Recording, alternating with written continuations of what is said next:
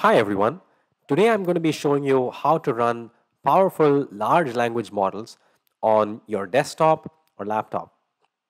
So first thing you have to do is to basically go to um, LM Studio. Um, and then you can basically find the right uh, executable for you know your operating system that you have. And when you open up LM Studio, you can basically type in any model. So let me type in Llama 2 here.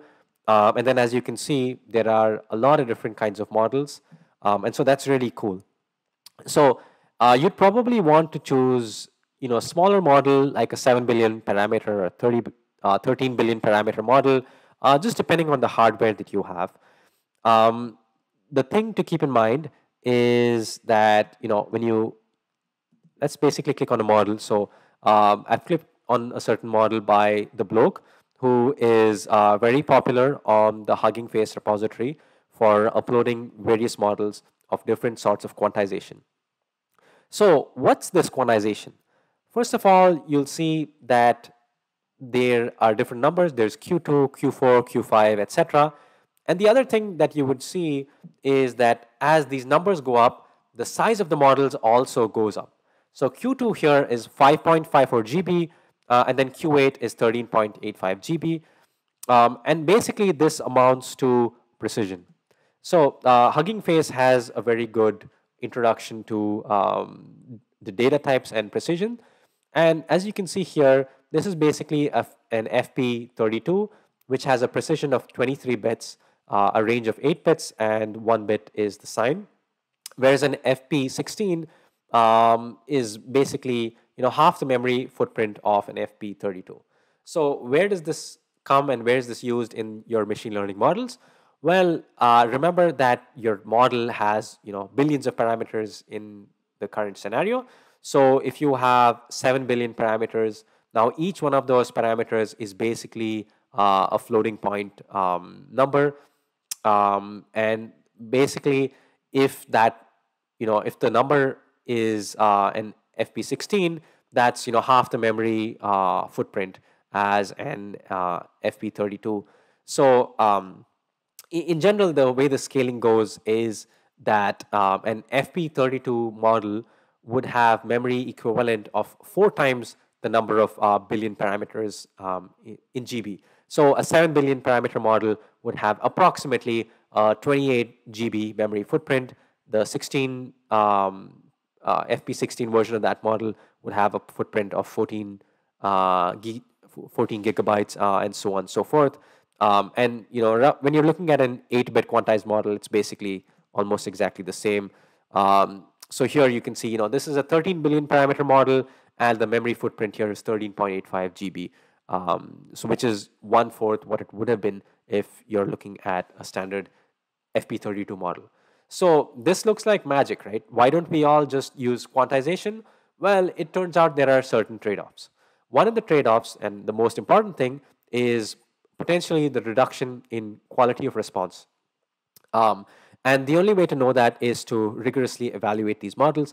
And I think that's why it's really great that we have these desktop models that we can just run locally.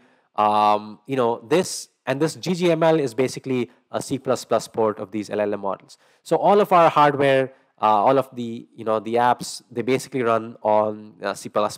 C++ is like the, the foundation of uh, operating systems. So this works seamlessly. Uh, you can just download it, and it's you can use it in Mac, you can use it in Windows, uh, whichever. And this is really uh, a useful little tool to have. So I'm going to go here in this chat here and I'm going to basically use a, a model that I have downloaded before, which is this 7 billion uh, Q4 GGML model. So I'm going to ask basically a question like, uh, hello, how are you?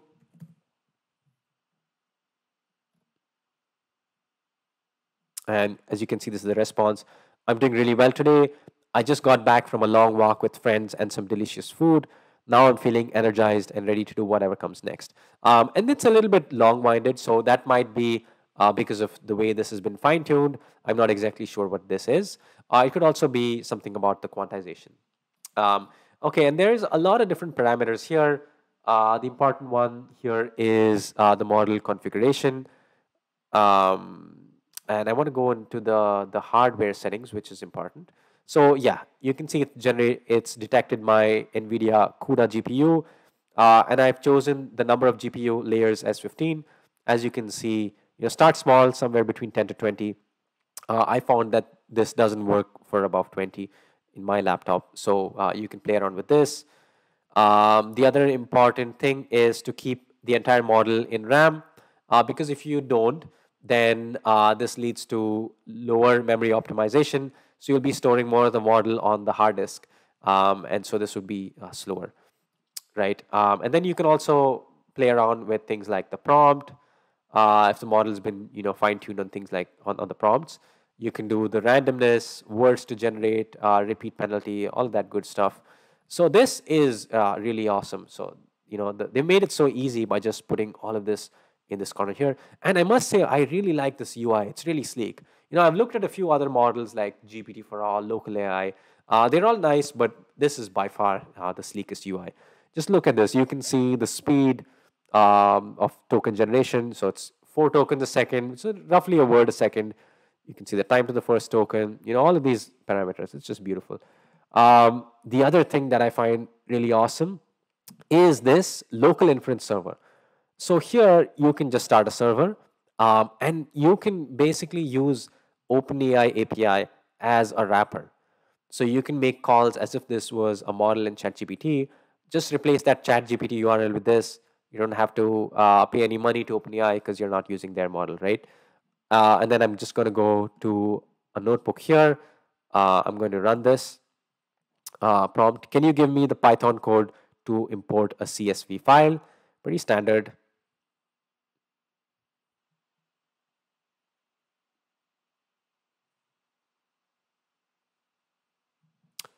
Okay, so see, it's given the code. So import CSV, blah, blah, blah. Uh, some commentation here. Um, this code will read the contents of example.csv, and then this code will uh, create a new CSV file called um, example.csv. Um, All right, so great. Okay, and the other thing to keep in mind is the way you're calling it. So you would replace the base URL with this uh, local server's URL. You would keep uh, a blank key, uh, blank API key, just because you're not, like I said, you're not actually making calls to the OpenAI server. I know this is pretty cool, but it, it might take some getting used to, but it, it works nicely. Um, and then here, lastly, is basically where you can see all of your various downloaded models. All right, so I hope you enjoyed this video introducing you to LM Studio. I think that there are multiple uses for something like this where you can play around with large language models um, locally. First of all, you can download um, any GGML model uh, within a reasonable size range that fits into your uh, CPU and, and GPU memory.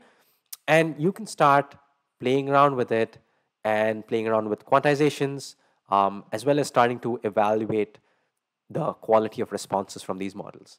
Now, the latency will not be terribly good. So, of course, you can't really use these sort of uh, desktop apps on your local laptop or desktop uh, and expect that to do well in production because uh, I feel that the latency will just not be good. It'll be just uh, too slow, right?